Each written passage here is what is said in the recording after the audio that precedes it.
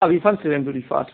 Ich fand die Fahrt einfach genial. Es war einfach, äh, kann ich nicht beschreiben. Es ist, äh, ich bin schon viele Motorräder gefahren und ich bin ja so ein gemütlicher Fahrer, aber das ist etwas, das, das ich sage immer, wenn die Eier sich äh, schaukeln, dann ist das Motorrad für den Mann genau richtig.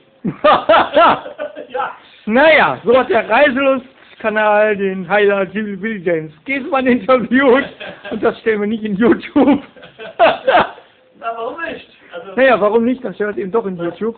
Weil, ähm, das ist einfach genial. Ist, äh, ich, ich kann es so, so sagen. Und jeder, der wirklich äh, ein Biker ist, sage ich mal, der auch schon mal eine Harley gefahren hat, der weiß, die Vibration, äh, die dann da im Unterleib da, das ist wichtig. Das ist irgendwie, Naja, das hat schon was. Ne? Na klar doch. Darum sind die Frauen ja auch begeistert, wenn sie dann solche Motorräder haben. Mhm. Das, das Vibration ist schon gut, okay, das ist wunderbar. Also das Motorrad ist einfach genial. Also äh, ich, jeder, der Motorrad fährt, der Ahnung hat, der sollte sich, sich den mal einfach mal nehmen, mal eine Runde drehen, das ist traumhaft.